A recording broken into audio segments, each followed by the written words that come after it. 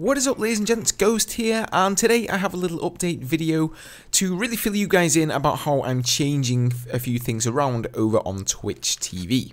So if you're somebody who doesn't watch Twitch, you're not interested in watching me over there on that channel, then you may as well click away from this video, because that's mostly what this video is going to be about.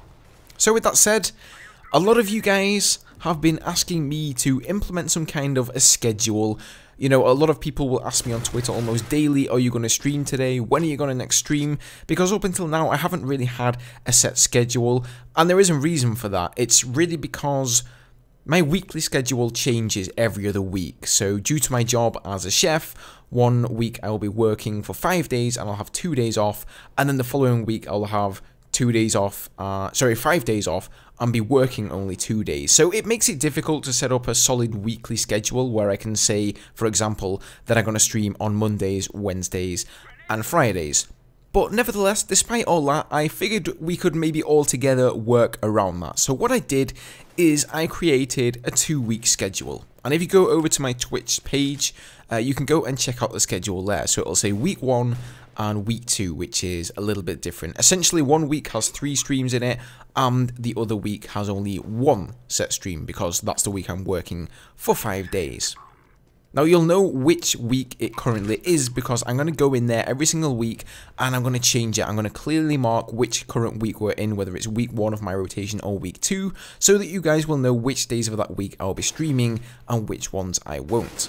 So the way my job really works is I work 12 hour shifts, 9 in the morning until 9 in the evening. So any days I'm working, I'm really assuming that I'll be working very late into the evening. I'm not going to have time to stream, I'm not going to have time to create any kind of video content or really game whatsoever. So usually I will write those days off as non-streaming days and that's the reason I haven't used any of those days in my streaming schedule.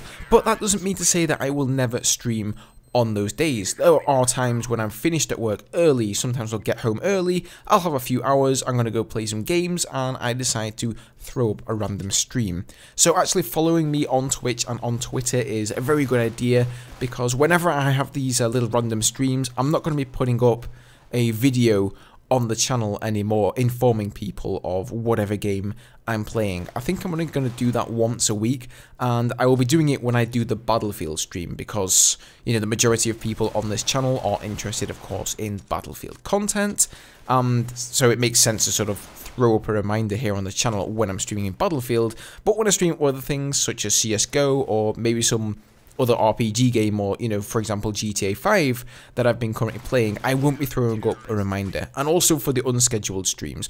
All that reminder stuff will be happening over on Twitter. And likewise, if I'm fallen sick or something and I can't make a scheduled stream, I will be putting that information up on Twitter. So I really, really recommend going and following me there. And uh, if nothing else, it's a lot of fun. I chat to a lot of you guys on there, and that's awesome. So go and follow me over there if you want to be constantly updated. Now, as for games I will actually be playing over on Twitch, of course, Battlefield will be a staple. There will be one day a week at least where I play only Battlefield, so it's going to be like a Battlefield only stream. Then I have another day where it's sort of mixed Battlefield and CSGO, because I have been getting into CSGO in a big way actually. Haven't really made too many videos here on the channel, but I've been enjoying the game more and more, and I do actually plan to make uh, some videos, maybe even some super noobish beginner tutorials or something of the like.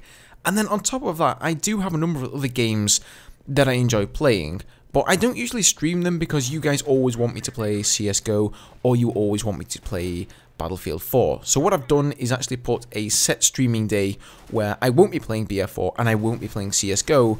I will essentially be picking from a pile of games. So it could be something like uh, a competitive game, like I could stream some Hearthstone, I might stream some uh, StarCraft 2, for example. I may also just go on an RPG game, or, you know, something like I mentioned before, Far Cry 4, uh, but GTA 5, you know, whatever it happens to be, whatever the coolest game at the time is, if you will. So yeah guys, I think that's pretty much all the information so far. I think this is going to be a good thing. Hopefully you guys will be able to easier keep up to date on when I'm next going to be streaming without always having to contact me on Twitter and ask me. and uh, I think it's going to keep me streaming more regularly as well, to be honest. On average, it's two days a week at the very least, so that's without any extra streams. Um, that's probably more than I have been doing, so I'm really looking forward to keeping uh, this sort of solid schedule and, and getting back into Twitch in a big way. So, what do you say guys? I reckon this calls for a celebration. This guy here in the comment section on the last video had a pretty good idea, so why the hell not?